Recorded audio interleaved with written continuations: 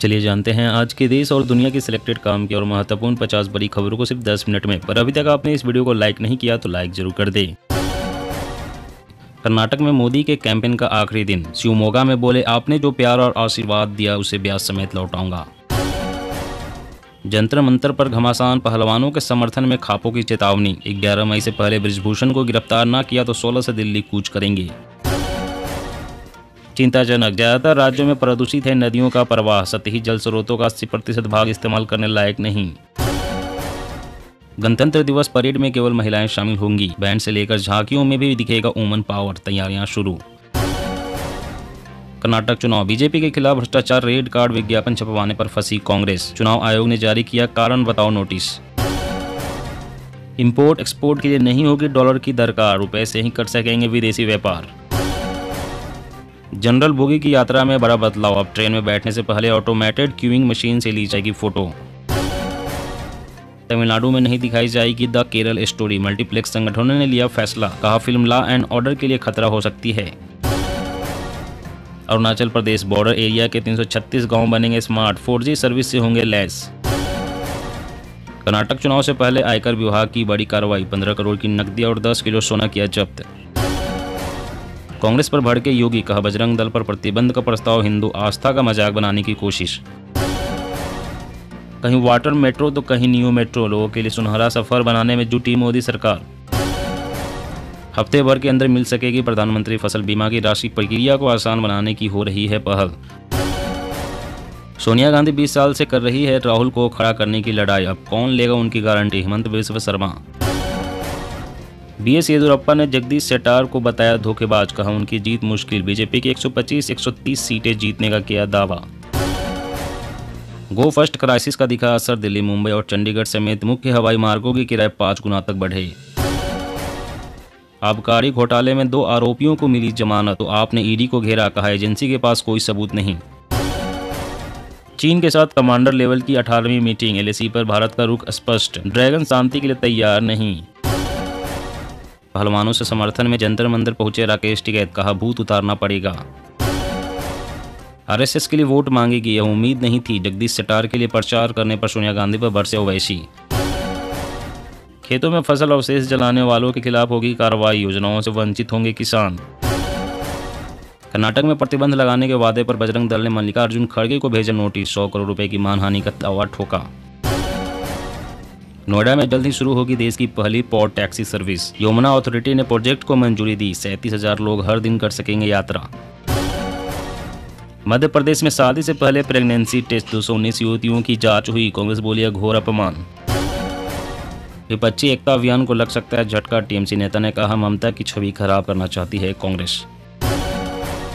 High blood pressure के बढ़ते जोखिम का कारण से जुड़े मोबाइल फ़ोन कॉल। स्टडी में हुआ खुलासा। मध्य प्रदेश में नेताओं के बीच जुबानी जंग तेज। पूर्व सीएम दिग्विजय बोले, मैं बीजेपी नेताओं की छाती पर मूंग दर्दा रहूँगा।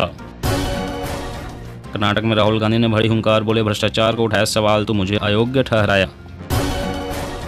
हर फ़ोन में देनी होगी रेडियो की सुविधा, सरकार ने कंपनियों के लिए जारी की एडवाइजरी। बर्फ़ का गोला बिगाड़ सकता है बच्चों की सेहत, रंगों में होता है खतरनाक केमिकल। डॉक्टर ने दी बचने की सलाह।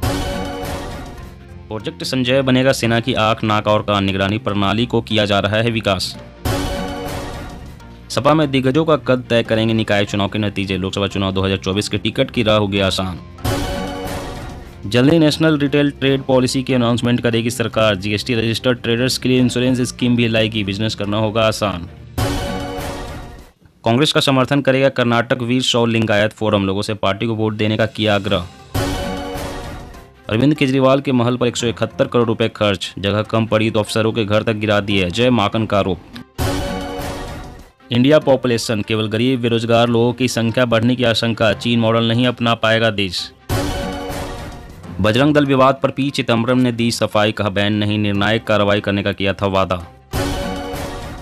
कर्नाटक के बेलगावी में शाह का शक्ति प्रदर्शन, कहा ना मुस्लिम आरक्षण मिलेगा और ना ही लिंगायत का कम होगा।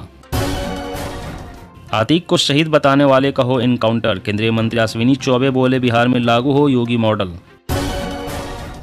मेरा गुना साबित हुआ तो फांसी पर लटक जाऊँगा। सेक्सुअल हरासमेंट पर बोले डब्ल्यूएफआई चीफ ब्रिजभूषण। कर्नाटक में बीजेपी सरकार ने तेरह लाख से ज़्यादा लोगों को नौकरियाँ दी। कांग्रेस ने झूठ का इको सिस्टम बनाया। खाती है पचासी परसेंट कमीशन। कर्नाटक में जमकर बरसे पीएम मोदी। समुद्री मार्गों से भारत में आ रही 60-70 प्रतिशत ड्रग्स। संबंधित राज्यों को विशेष प्रयास के निर्देश।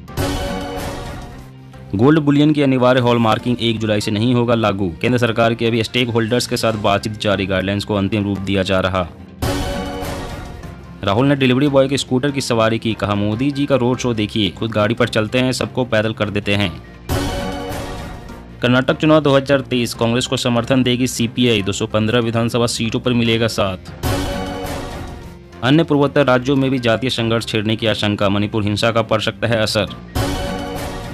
गुलाम नबी आज़ाद ने फिर की मोदी सरकार की तारीफ़, कहा, कश्मीर में हड़ताल और पत्थरबाजी खत्म हुई। दुनिया की मदद करने वाला भारत एकमात्र देश। गुजरात में आरएसएस चीफ बोले, धर्म को मानने वालों का देश कभी किसी का फ़ायदा नहीं उठाता। खड़गे का पीएम मोदी पर अटैक, सिर्फ़ आपकी जैकेट ही मशहूर है और आप इसे रोज़ाना चार बार बदलते हैं। प्रियंका गांधी ने कहा, कर्नाटक में महँगाई बेरोजगारी का आतंक। इस पर बात करने से क्यों कतराते हैं पीएम मोदी? टेलीग्राम बना साइबर जालसाजों का नया ठिकाना खुलेआम बिक रहा, लोगों का डेटा हर दिन हो रहे शिकार। ऑटो रिक्शा में मिलेगी कार जैसी सेफ्टी, सेफ़ राइड के लिए रैपिडो ने बनाया प्लान। मध्य प्रदेश में अब सरकार के नियंत्रण में नहीं होंगे मंदिर, सीएम शिवराज ने कहा ब्राह्मणों के कल्याण के लिए बनेगा बोर्ड। गर्मी बढ़ने के साथ ही आम आदमी पर महँगाई की मार, नींबू की कीमत में लगी आग, दो सौ रुपये किलो के पार पहुँचा रेट।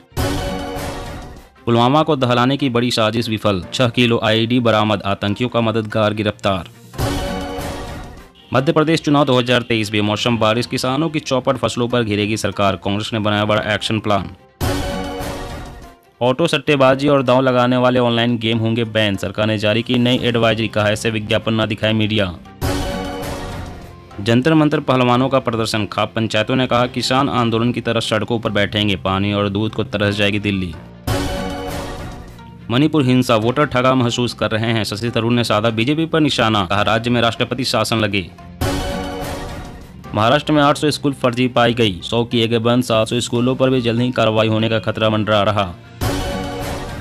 चीन से सीमा विवाद के बीच जयशंकर का राहुल गांधी पर तंज बोले वे चीनी राजदूत से ही क्लास ले रहे हैं।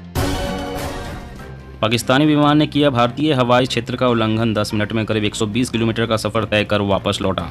जी हाँ दोस्तों, और भी बड़ी काम की खबरें निकल कर आ रही है। इसलिए वीडियो को लास्ट तक ज़रूर देखना। तो चलिए दोस्तों आप जानते हैं महत्वपूर्ण खबरों को विस्तार से। इससे पहले आपसे एक छोटी सी रिक्वेस्ट है, अगर आपने अभी तक इस वीडियो को लाइक नहीं किया तो लाइक ज़रूर कर दे। तो हफ़्ते भर के अंदर मिल सकेगी प्रधानमंत्री फ़सल बीमा की राशि। प्रक्रिया को आसान बनाने की हो रही पहल। जी हाँ प्रधानमंत्री फ़सल बीमा राशि के भुगतान के लिए किसानों को लंबा इंतज़ार नहीं करना होगा। फ़सल क्षति के दावे ऐसी लेकर राशि के भुगतान मिलने तक की प्रक्रिया को आसान किया जा रहा है। मंत्रालय में शीर्ष स्तर पर विमर्श शुरू कर दिया गया है। नियम के अनुसार किसानों के दावे और सरकार से नुकसान के आंकड़े प्राप्त होने के बाद बीमा कंपनियों को तीन हफ़्ते के भीतर भुगतान करना होता है। किंतु अभी यह राशि किसानों के खाते तक पहुँचने में डेढ़ से दो महीने का समय लग रहा है। कृषि एवं किसान कल्याण मंत्री नरेंद्र सिंह तोमर चाहते हैं कि आपदा से प्रभावित किसानों के खाते में नुकसान की राशि हफ़्ते भर में चला जाए। अभी सत्ताईस राज्य और केंद्र शासित प्रदेश योजना का लाभ उठा रहे हैं।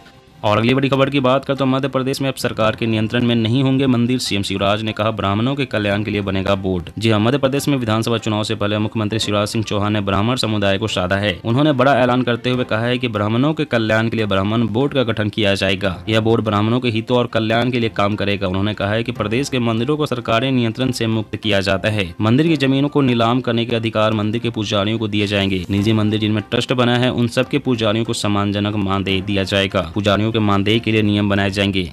प्रोजेक्ट संजय बनेगा सेना की आँख, नाक और कान। निगरानी प्रणाली का किया जा रहा विकास। जी हाँ भारतीय सेना आधुनिकीकरण के पथ पर तेज़ी से अग्रसर है। वैसे भी भारतीय सेना साल 2023 को बदलाव के साल के तौर पर मना रही है। वो ऐसे कई प्रोजेक्टों पर काम कर रही है, जिससे सेना नई नई तकनीकों से लैस हो जाएगी। इससे उसकी मार्ग क्षमता में और बढ़ोतरी होगी। सैन्य सूत्रों के अनुसार प्रोजेक्ट संजय के तहत सेना का बैटल फ़ील्ड सर्विलांस सिस्टम तैयार किया जा रहा है। इसमें बड़ी संख्या में सेंसर को आपस में जोड़ा जाएगा और फ़ील्ड फॉर्मेशन के लिए सर्विलांस सेंटर स्थापित किए जाएँगे। साथ ही इन्हें artillery combat command and control and communication system से जोड़ा जाएगा। इससे कमांड कर रहे सभी स्तर के कमांडर और अन्य स्टाफ ज़्यादा बेहतर तरीके से सेना का सर्विलांस कर सकेंगे।